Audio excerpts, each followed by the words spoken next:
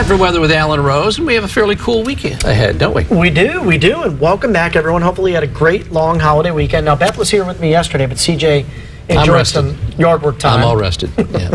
But you're- What's left of our yard? Yeah. There's not much. Right, know there's yeah, nothing that's true. I think many folks at home can empathize. Sure. Well, let's take a live camp view in Ojai. Still seeing some green mixed with a lot of brown out there. Of course, our hills are very dry, bone dry because of lack of rainfall that we've seen really over the past three rainy seasons. A little bit haze in the air in Santa Barbara. Today's temperatures down by a few degrees, but still above average in the downtown area. 81 your daytime high, the morning low 65. The morning low average 59 and the average daytime high for this time of the year right around 76 degrees. And tonight still warmer than that average daytime high at 77. Look at Oxnard checking in at 69. We're seeing 79 in Ojai, down to 75 in Santa Ynez with some cooler 60s now showing up on the map out across the central coast.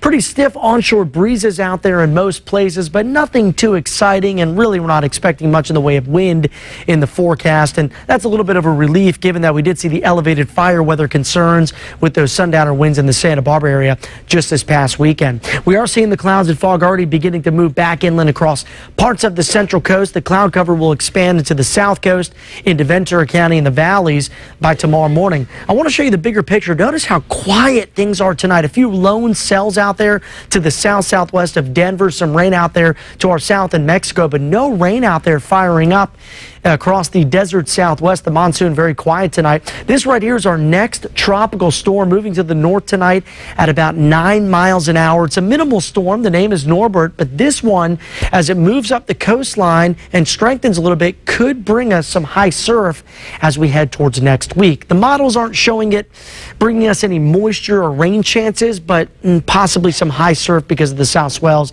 maybe in about seven to 10 days' time. Back here a little bit closer to home, this low is going to continue to slide inland across the northern tier. Now, for us, it's just going to shift high pressure farther to the east, and that'll allow for temperatures to continue to cool, all because of a stronger onshore flow.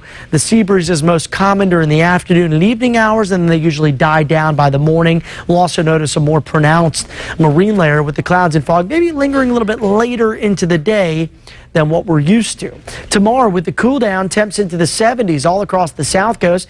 Yeah, we'll see plenty of sunshine, but it might be gray and gloomy during the morning hours. That'll be a common trend we notice up and down the coast. 73 in Santa Maria, mid 70s and SLO. Look at Paso, 105 on Saturday, about tomorrow into the mid 80s. Hump day forecast in Ojai, 87 degrees with some 80s as well around Camarillo and Santa Paula. Variable winds on the channel, 10 to 15 knots. A swell coming in out of the west at 2 to 3 feet. Water temperature at 70 degrees and back on land in Santa Barbara.